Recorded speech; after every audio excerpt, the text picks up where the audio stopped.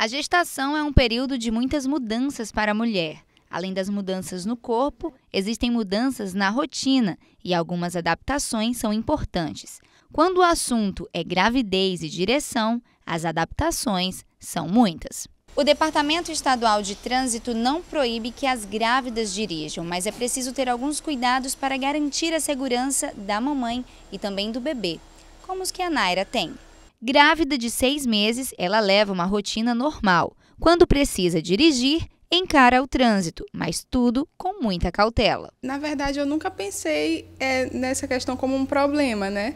É, nunca pensei que dirigir fosse um problema para mim. É, sempre encarei com muita naturalidade e também tinha as minhas necessidades, né? É, às vezes precisava ir ao médico, levar o bebê ao médico, e aí não tinha ninguém para ir comigo, dirigia. A recomendação entre continuar ou não no volante deve ser feita pelo obstetra, considerando as condições de saúde da mulher. Mas a gestante deve ser desestimulada a dirigir. Ela não deve dirigir.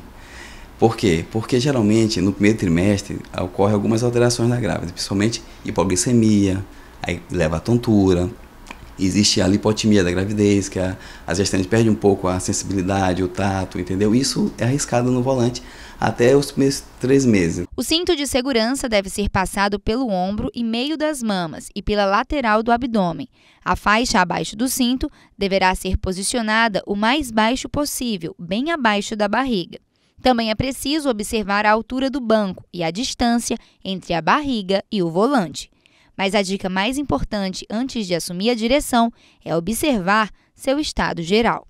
Não, é sempre bom, é, é importante, né, me, me, manter bem alimentada, é, é, até porque eu posso passar mal em, em, qualquer outra situação que não seja a direção também, né. Para as grávidas, o grande volume uterino pode ser um obstáculo para movimentos rápidos e de reflexo, em caso de necessidade de desvios e manobras inesperadas. Por isso, existe uma recomendação sobre até quando a gestante deve estar no banco da frente.